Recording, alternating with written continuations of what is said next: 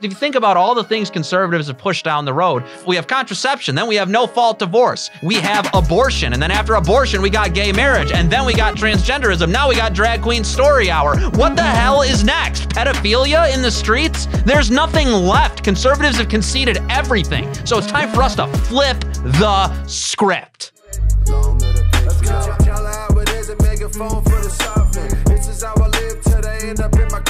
What's up, guys? Welcome back to Red Top Report. I'm your host, Joe Enders, and we're going to start talking a little bit about the presidential race right now and the Republican Party and what's going on in their current primaries. And for this one, we have Vivek Ramaswamy, who actually just recently overtook Ron DeSantis, the governor of Florida, in the polls. You can throw that poll up there, show everybody. But now we have a video of him commenting a little bit on the woke and LGBT. So, Ronan, you have that queued up?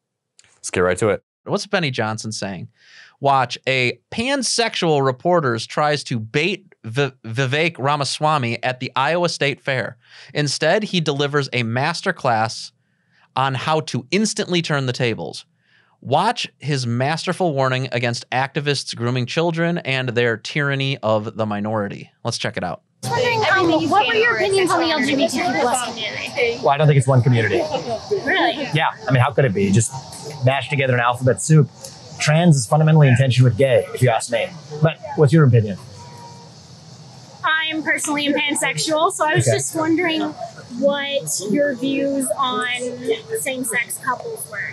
I don't have a negative view of same-sex couples, Oh, but here I do go. have a negative view of a tyranny of the minority. So there, there it is. This is the problem with the Republican Party. Imagine if something like this had been sen- said by Republicans when Obama was president. Most of the country opposed gay marriage at that time. There was a there, there was a gigantic shift that just happened out of nowhere. Like Barack Obama, for example, he is on record saying that like that like uh, he was for traditional marriage while he was running for while he was running for president in 2008. I believe that marriage uh, is the union between a man and a woman. This is why Republicans are always losing. They just concede every single point to the left. Concede on trans, con- concede on trans. They're going to concede on transgenderism. You already can see it happening right now. You got Caitlyn Jenner on Fox News. And then what's next? Uh, Oh, I'm a conservative. Uh, I I support drag queens, you know, dancing in the streets with their junk hanging out. I just don't necessarily want there to be children there when they do it. that's where we're headed, guys. That's the actual trajectory of where we're going right now. And and this is a real danger. This is a real danger, I would say. But anyways, we can we can keep playing it.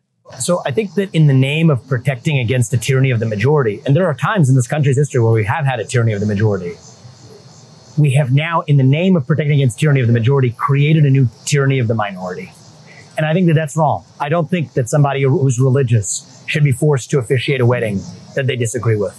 I don't think somebody who is That's a woman good. who's worked really hard for her achievements should be forced to compete against a biological man in a swim competition. I don't think Good. that somebody who's a woman that respects her bodily autonomy and dignity should be forced to change clothes in a locker room with a man. That's not freedom, that's oppression. And so I believe that we live in a country where free adults should be free to dress how they want, behave how they want, and that's fine.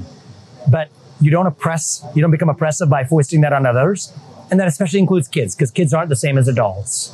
And so I think adults are free to make whatever choices they want, but do not foist that ideology onto children before children are in a position as adults to make decisions for themselves. And so I think a lot of the frustration in the country, and if I'm being really honest, that I also share. let's pause it right here. Let's pause it right here. That position that Republicans espouse, you know, once you're an adult, I really don't care what you do, but it's about the kids or whatever. I'm sorry, but what adults do affects kids. What adults do affects kids. What if it's a parent that decides that they want to be transgender? Oh, he's an adult and he has freedom. Well, guess what? You've just taken a father out of the equation entirely because he'll have no masculine example because his dad is prancing around in high heels and a dress. That's what's going to happen. That destroys families from within. You actually do have to force adults to be moral and upstanding citizens. You do kind of have to, in their words, which it isn't actually, oppress people. You have to make them not do what they feel like doing, not do what they want to do in order to better preserve the family unit. Uh, this goes to what I was saying about individualism in the past. Individualism is not Christian. The the the the first cell of civilization, according to Pope John Paul II, and according to Vatican II, guys, according to the church councils, is that the family is the first cell of society. This is church teaching. You cannot you cannot move away from that. And this is the main problem that I think that he has here. We'll let him finish up his little statement here, though. comes from that new culture of oppression where saying those things can actually get somebody punished. And in my case, part of why it's my responsibility to say them. And I respect that you may have a different opinion, and that's okay. It's part of what makes our country great is that you and I can be civil and have this conversation, and that we live in a country that still gives us, each of us, the right to speak you know, to a presidential candidate and back and still say that we pledge allegiance to the same nation. So I think that's the beauty of our country, and that's my honest opinion. Awesome. Well, Thanks. thank you very much. I appreciate that. Thank you for your civility as well. I appreciate it. Okay, so that's the end of the video. Okay, yeah. Um, no, I'm not for civility with these people. These people absolutely despise the country. They absolutely despise our faith. They despise everything about us, and they wish to undermine us in any possible way that they can. Uh, no, I would I would not allow these ideas to be platformed. A matter of fact, I would flip the script entirely on the left here. I would not allow pro LGBT propaganda to be pumped into our airwaves. Those sorts of things are wrong. Those sorts of things are evil. We're trying to cultivate a civilization filled with good, upstanding, moral people that can cultivate families. And with that type of stuff going on, and with that type of stuff being introduced into political discussions, that changes the direction of the country and moves it away from its godly purpose of cultivating families that believe in procreation, that agree, that that that mm, uh, that that prop up moral lifestyles. That's the purpose of government. That's why it exists.